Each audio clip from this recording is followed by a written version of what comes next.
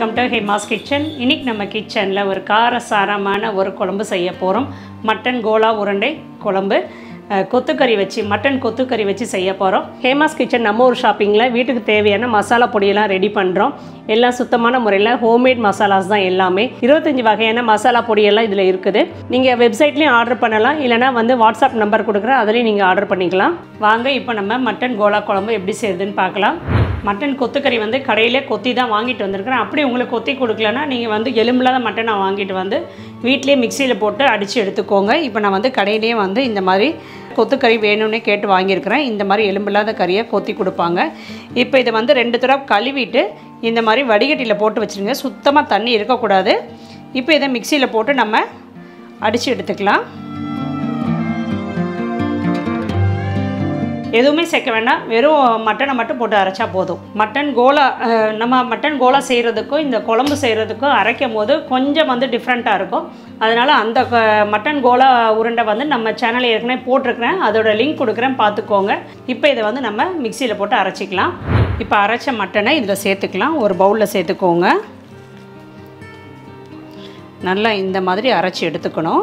First பார்த்திங்கன்னா ஒரு மாதிரி திரி திரியாக இருக்கும். அந்த மாதிரி இருந்தோன்னா உருண்டை பிடிச்சி நம்மளால் பொறிக்க பொரிக்க முடியாது. இந்த மாதிரி நம்ம மிக்சியில் போட்டு அரைச்சி எடுத்தால் தான் நமக்கு வந்து உருண்டை பிடிக்க முடியும். இப்போது இதில் வந்து நம்ம ஒவ்வொன்றா சேர்த்துக்கலாம். உப்பு இந்த வந்து இந்த உருண்டைக்கு மட்டும் தேவையான அளவு உப்பு சேர்த்துக்கோங்க. பெரிய வெங்காயம் நல்லா பொடியாக இந்த மாதிரி கட் பண்ணிக்கோங்க.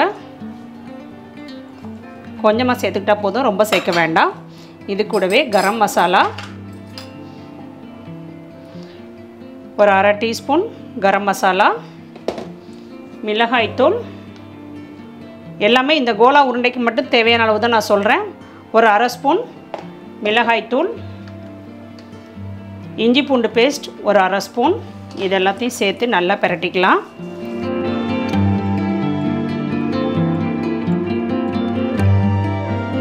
இப்போ பார்த்திங்கன்னா இதை வந்து நம்மளால் உருண்டை பிடிச்சி நம்ம பொரிக்க முடியாது. நம்ம எண்ணெயில் போட்டோம்னா பிரிஞ்சு வந்துடும். நம்ம குழம்புல அப்படியே போட்டு நம்ம வந்து குழம்புலேயே அப்படியே போட்டாலும் உருண்டை பிடிச்சி போட்டாலும் பிரிஞ்சு வந்துடும். அதனால் நம்ம இதில் கொஞ்சமாக நம்ம வந்து பொட்டுக்கடலை மாவு சேர்த்துக்கலாம். பாருங்கள் இப்படி நம்ம பிடிக்கிறோம்ல. இப்படி நம்ம பிடிச்சாலும் தண்ணியாக இருக்குது லைட்டாக இந்த மாதிரி இருக்குல்ல. அதுக்கு தான் நம்ம வந்து பொட்டுக்கடலை மாவு சேர்க்க போகிறோம் இது கூடவே ஒரு ரெண்டு ஸ்பூன் பொட்டுக்கடலை. பொட்டுக்கடலை வந்து மிக்சியில் போட்டு அரைச்சி எடுத்துக்கோங்க. ஒரு ரெண்டு ஸ்பூன் பொட்டுக்கடலை மாவு சேர்த்துக்கோங்க. பொட்டுக்கடலை மாவு நிறையா சேர்க்கக்கூடாது. நிறையா சேர்த்திங்கன்னா ஹார்ட் ஆகிடும் நமக்கு உருண்டை. அதனால் ஒரு ரெண்டு ஸ்பூன் மட்டும் சேர்த்துக்கோங்க. இதை நல்லா அழுத்தி பிசைஞ்சு உருண்டை பண்ணிக்கணும். ஒரு சப்பாத்தி மாவு மாதிரி நமக்கு வந்து உருண்டையாக வரணும். மட்டன் பார்த்திங்கன்னா சில குழந்தைங்க சாப்பிட மாட்டாங்க. அவங்களுக்கு வந்து இந்த மாதிரி நீங்கள் வந்து கோலா உருண்டை செஞ்சு கொடுங்க. கண்டிப்பாக வந்து விரும்பி சாப்பிடுவாங்க. அவங்களுக்கு வந்து மட்டன் டேஸ்ட்டு சில பேருக்கு பிடிக்காது. எங்கள் வீட்டிலே பார்த்திங்கன்னா தேவாக்கு வந்து மட்டன் பிடிக்காது. அவனுக்கு இந்த மாதிரி ஃப்ரை பண்ணி கொடுத்தோம்னா கோலா உருண்டை செஞ்சு கொடுத்தோம்னா சாப்பிட்ருவான் இப்போ பாருங்கள் இந்த மாதிரி நம்ம பிடிச்சி வச்சுக்கணும். இந்த மாதிரி இருந்துச்சுன்னா நமக்கு எண்ணெயில் போடும்போது பிரிஞ்சு வராது. இப்போ இதை வந்து ஃபுல்லாக நான் வந்து உருண்டை பண்ணிக்கிறேன் ஃபஸ்ட்டு கையில் லேசாக எண்ணெயை தொட்டுட்டு உருண்டை பண்ணிக்கலாம். நான் வந்து ரொம்ப பெருசாக போடலை சின்னதாக தான் போடுறேன். இந்த மாதிரி டைட்டாக பிடிச்சிக்கணும். ஒரு உருண்டை எண்ணெயில் போட்டு பாருங்கள் பிரிஞ்சு வந்துச்சுன்னா அப்புறம் ஒரு ஸ்பூன் பொட்டுக்கடலை மாவு கூட சேர்த்துக்கலாம். இப்போ நம்ம வந்து எண்ணெயில் போட்டு ஃப்ரை பண்ணலாம். சிம்லே வச்சுக்கோங்க ஹையில் வைக்க வேண்டாம்.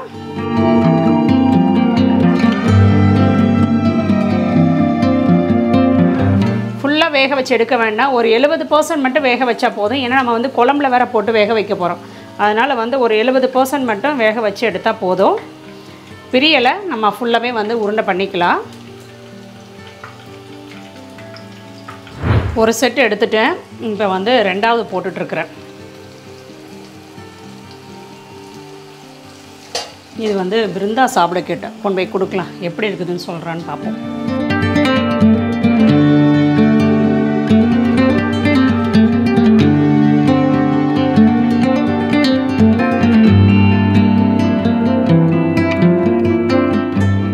நல்லா இருக்குது ஒரு ஆள் எழுந்து வருவானே. ஆ? என்னடா வாசம் வருது? அப்படின்ட்டு. நல்லா இருக்கு சும்மா வெறும் வயலில் சாப்பிட்றதுக்கே சூப்பராக இருக்குது. இப்போ கோலா உருண்டை பொரியட்டும். அதுக்குள்ளே நம்ம வந்து குழம்புக்கு ரெடி பண்ணிகிட்ருக்கலாம் இருக்கலாம். இந்த எண்ணெயே எடுத்து ஊற்றிக்கிறேன் வேறு எண்ணெய் ஊற்ற வேண்டாம்.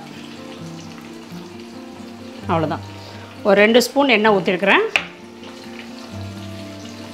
இன்றைக்கி மண் சட்டியில் தான் செய்ய போகிறேன் மண் சட்டியில் செஞ்சால் ரொம்ப நல்லாயிருக்கும்.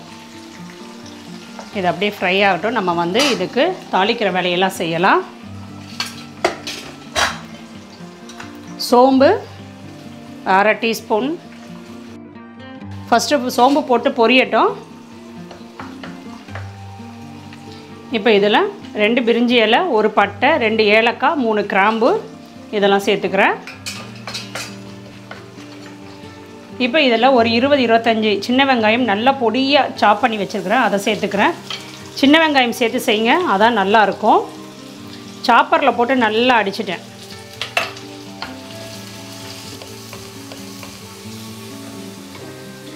வெங்காயம் நல்லா வதங்கட்டும். நல்லா வதங்கி நல்லா ப்ரௌன் கலரில் வரணும். இதுக்கு கொஞ்சம் உப்பு சேர்த்துக்கிறேன். நம்ம ஏற்கனவே கோலாவில் வேறு உப்பு சேர்த்துக்கிறோம் அதனால் கொஞ்சமாக மட்டும் சேர்த்துக்கலாம். பத்தலைன்னா அதுக்கப்புறம் பார்த்துட்டு சேர்த்துக்கலாம். ஃபஸ்ட்டே நிறைய சேர்த்துற வேண்டாம். வெங்காயம் நல்லா வதக்கிக்கலாம்.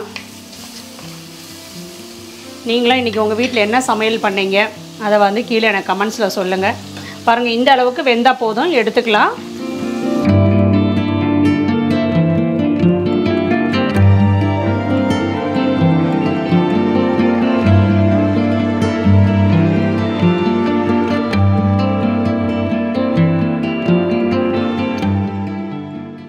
இதை நீங்கள் ஃபுல்லாகவும் குழம்புல போடலாம். இல்லை கொஞ்சம் போட்டுட்டு மிச்சத்தை வந்து சாப்பிட்றது கூட நீங்கள் வச்சுக்கலாம். உங்களோட விருப்பம் தான் அது.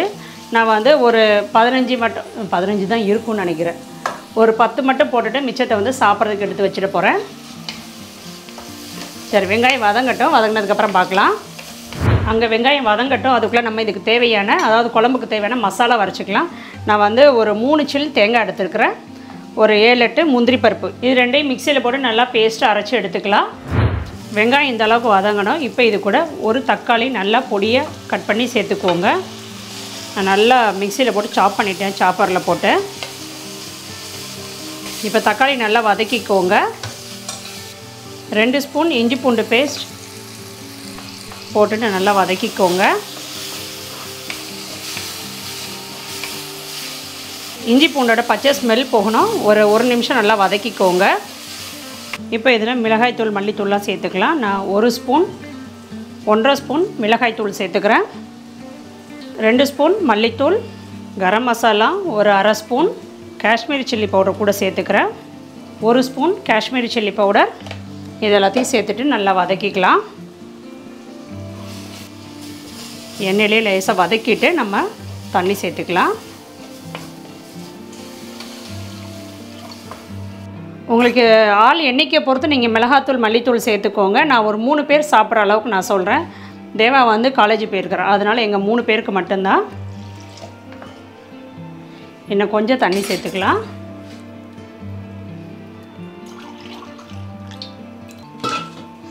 கொதிக்கட்டும். அது பொடியோட பச்சை ஸ்மெல் நல்லா போகணும். அதனால் ஒரு அஞ்சு நிமிஷம் கொதிக்கட்டும்.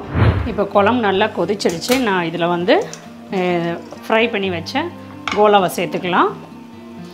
இந்த மாதிரி நல்லா கொதித்து வரணும்.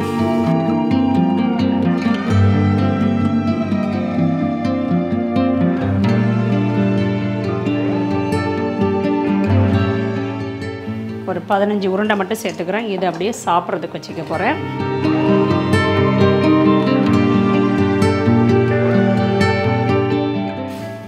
ஒரு நிமிஷம் கொதிக்கட்டும். கொதித்ததுக்கப்புறம் நம்ம அரைச்சி வச்ச தேங்காவை சேர்த்துக்கலாம் இதில்.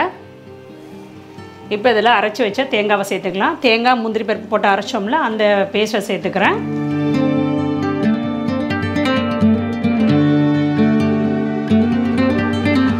கூட ஒரு கிளாஸ் அளவு. தேங்காய் சேர்த்துக்கிட்டிங்கன்னா ஒரு திக்னஸ் கிடைக்கும். அதனால் தேங்காய் சேர்த்துக்கோங்க.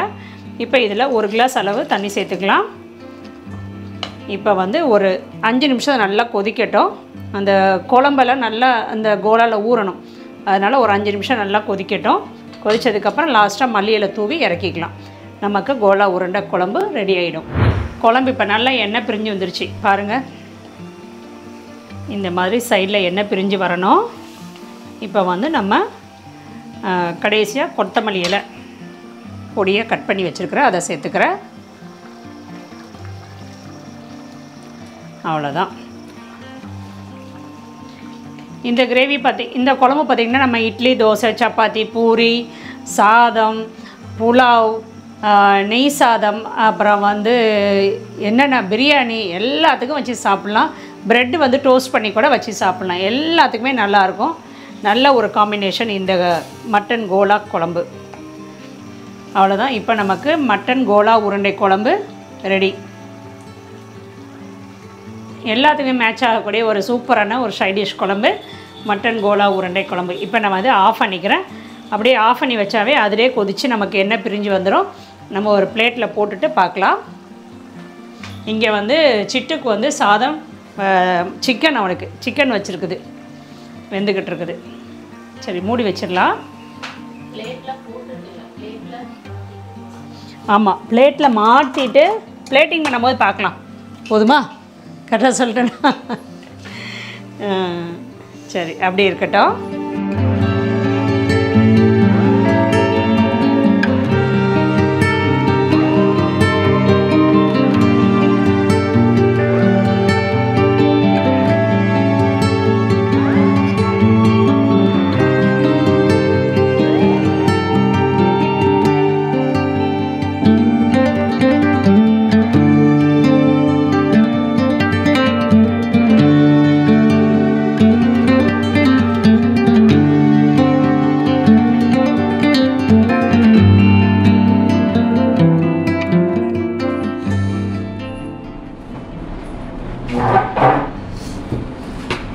இன்னைக்கு பார்த்தீங்கன்னா நாங்கள் சீக்கிரமாக சாப்பிட்டுட்டோம். ரெண்டு மணிக்கு தான் சாப்பிட்டோம் அதுவே எங்களுக்கு சீக்கிரம் தான் சீக்கிரம். இல்லைன்னா நாங்கள் சாப்பிட்ற டைம் பார்த்தீங்கன்னா மூணு மூன்றரை மணி ஆகிடும் இருந்த ஆஃபீஸ்லேயே வந்து கேட்க ஆரம்பிச்சிட்டாங்க. என்னம்மா இவ்வளோ நேரம் சாப்பிடாம இருக்கிற அப்படின்னு சொல்லிட்டு. நாங்கள் எத்தனை மணிக்கு தெரியுமா டீ குடிப்போம்? ஒரு மணிக்கு தான் டீ குடிப்போம். அதனால பதினோரு மணிக்கு போல் மோர் குடிச்சிட்டு அப்புறம் ஒரு மணிக்கு டீ குடிச்சு அப்புறம் சாப்பிட்றதுக்கு எங்களுக்கு எப்படியும் ஒரு மூணு மூன்றரை ஆயிடும். சில சமயம் தேவா கூட வந்துடுவோம் அதனால தான் எங்களுக்கு வந்து சாப்பிட்ற டைம் வந்து ரொம்ப லேட் ஆகுது. ஆனா காலையில என்ன சீக்கிரமா நைன் தேர்ட்டின்னு அப்பெல்லாம் சாப்பிட்றோம். நேற்று வந்து பிருந்தா ஆஃபீஸில் வந்து கேட்டுட்டாங்க. இன்னுமா சாப்பிடாம பார்க்கட்டும். அங்கிள் பார்த்தா என்ன? அவங்க நம்ம சப்ஸ்கிரைபர் தான். கேட்பாங்க என்னம்மா என்னம்மா சாப்பிடாம இருக்கிற? சின்ன பிள்ளைங்க வளர்ற பிள்ளைங்க சீக்கிரம் சாப்பிடுங்கம்மா அப்படின்னு இருக்கிறாங்க. சாப்பிட்டுட்டு சொல்லு பிருந்தாம்மா என்ன இருக்குன்னு இரு இரு நான் உப்பு போடலை இன்னும். நான் போட்டுட்டேன். போட்டியா? இதான் நாங்கள் லேட்டாக சாப்பிட்றதுக்கு காரணம். ஸ்நாக்ஸ் ஏதாவது சாப்பிட்டுட்டு மோர் குடிப்போம் பதினோரு மணிக்கு. அப்புறம் பார்த்தீங்கன்னா ஒரு டீ குடிப்போம். இன்னைக்கு வந்து இது மார்கண்டம் அதாவது மட்டன் எலும்பு நெஞ்செலும்பு வாங்கிட்டு வந்தாங்களா? சூப்பு குடித்தோம் அதனால லேட் ஆயிடுச்சு. எங்கள் அம்மாவே சத்தம் போடுவாங்க. இவ்வளோ நேரமாக சாப்பிடாம இருக்கிற அப்படின்னு சொல்லிட்டு. பா வாசமாக இருக்குதுல்ல? இதுக்கு வந்து நம்ம மிளகாய்த்தூள் மல்லித்தூள் சேர்த்தோம்ல அதுக்கு பதிலாக நீங்கள் வந்து மட்டன் மசாலா சேர்த்து செஞ்சு பாருங்கள் இன்னும் ரொம்ப நல்லாயிருக்கும் மட்டன் மசாலா வந்து ஹேமாஸ் கிச்சன் நம்ம ஊர் ஷாப்பிங்கில் கிடைக்குது. தேவைப்படுறவங்க வாங்கிக்கோங்க. அதுவும் சேர்த்து செஞ்சோன்னா நல்லாயிருக்கும் நல்லா இருக்குமா?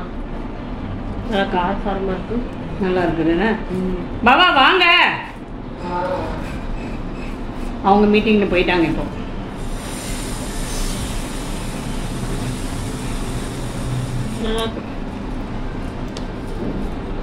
இதெல்லாம் ஊறி இருக்குல்ல?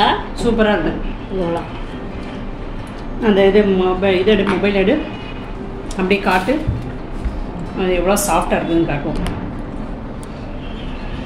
பாருங்க இது பாருங்க எவ்- ஓ! எவ்வளோ சாஃப்டாக இருக்குதுன்னு பாருங்க. நல்லா சாஃப்டாக இருக்குது. நல்லா ஊறிடுச்சு. ம் நல்லா ஊறிடுச்சு.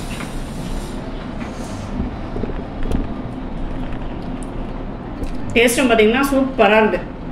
கண்டிப்பாக ட்ரை பண்ணி பாருங்கள் ஈஸி தான். நம்ம கோலா உருண்டை செய்கிறதுக்கு பதில் இந்த மாதிரி பொரிச்சு எடுத்து இந்த மாதிரி ஒரு நாள் செஞ்சு கொடுங்க.